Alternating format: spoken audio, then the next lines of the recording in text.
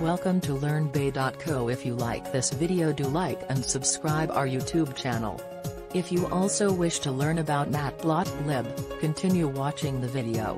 In this video you will learn what is Matplotlib advantages of Matplotlib layers in Matplotlib architecture and detail knowledge of the different layers.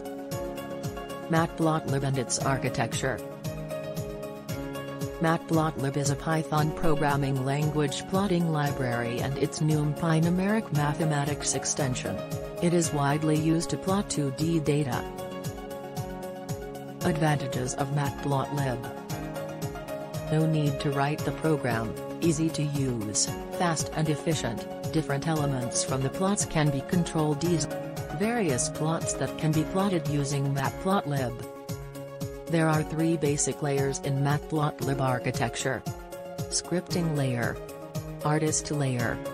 Backend layer. Artist layer.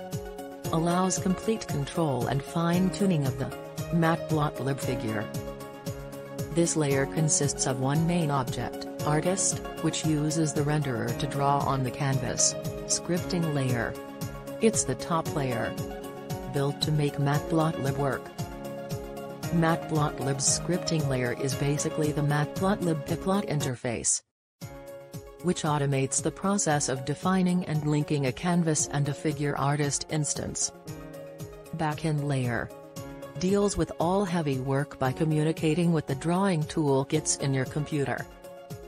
It's the most complex layer.